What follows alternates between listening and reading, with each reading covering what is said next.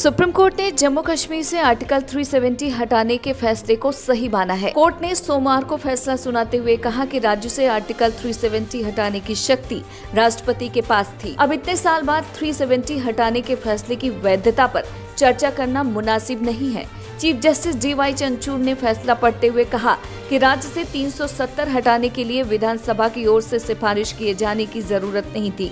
उन्होंने कहा कि यह प्रावधान अस्थायी था। इसके साथ ही कोर्ट ने उन याचिकाओं को खारिज कर दिया, जिसमें कहा गया था कि यह एक स्थायी प्रावधान था। सुप्रीम कोर्ट ने कहा कि यदि जम्मू कश्मीर की विधानसभा भंग भी हो गई थी तो राष्ट्रपति के पास यह शक्ति होती है कि वह आर्टिकल 370 पर फैसला ले। इस तरह केंद्र सरकार के फैसले को सुप्रीम कोर्ट ने हरी झंडी दे दी, जिसके तहत 5 अगस्त 2019 को जम्मू कश्मीर से आर्टिकल 370 हटाने का फैसला हुआ था। इसके अलावा राज्य का पुनर्गठन दो केंद्र शासित प्रदेशों के तौर पर कर दिया गया है।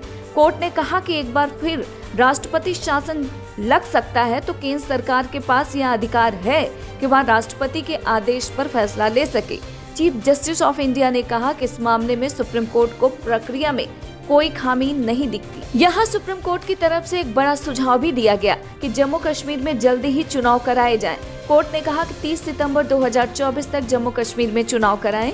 इसके अलावा राज्य का दर्जा भी जल्दी ही बहाल कर दिया जाए सुनवाई के दौरान भी सुप्रीम कोर्ट ने चुनाव को लेकर सवाल पूछा था। इस पर केंद्र सरकार के वकीलों ने कहा था कि परसीमन करा लिया गया है और अब चुनाव के लिए आगे बढ़ने की तैयारी है। गौरतलब है कि हाल ही में केंद्र सरकार ने जम्मू कश्मीर में आरक्षण संशोधन विधेयक को लोकसभा में पेश किया था। इसके तहत ओबीसी आरक्षण पर फैसला लिया गया है। इसके अलावा विधानसभा सीटों को भी विस्थापित कश्मीरी पंडितों और पीओके से आए विस्थापितों के लिए आरक्षित करने का प्रावधान है। इस तरह आर्टिकल 370 के फैसले पर सुप्रीम कोर्ट की मुहर के बाद अब सरकार इन बिलों को आगे बढ़ाएगी।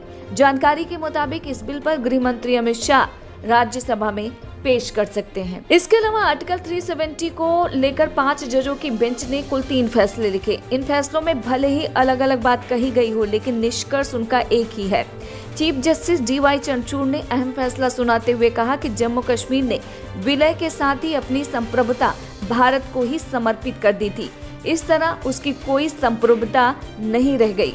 इसके अलावा जम्मू कश्मीर के अलग संविधान को लेकर चीफ जस्टिस ने कहा कि यह महज भारत के साथ उसके रिश्तों को परिभाषित करने के लिए ही था। फैसले से पहले ये दावे किए गए उमर अब्दुल्ला और महबूबा मुफ्ती की तरफ़ से कि कई नेताओं को नजरबंद कर दिया गया है। इस पर उपराज्यपाल मनोज सिन्हा ने कहा कि ऐसी कोई भी बात नहीं है, ये गलत जानकारी है, किसी भी नेता को नजरबंद नहीं किया गया है। पीडीपी के कुछ नेताओं ने कहा कि फैसले से पहले उनकी लीडर महबूबा मुफ्ती को नजरबंद किया गया।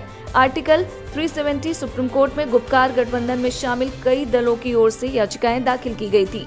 आर्टिकल 370 पर फैसला सुनाने वाली पाँच जजों की संवैधानिक बेंच में सुप्रीम कोर्ट के chief justice of India D Y Chandrachud justice Kishan Kaul, justice Sanjiv Khanna, B R Gavai और जस्टिस सूर्यकांत शामिल हैं। Bureau report, India Post news.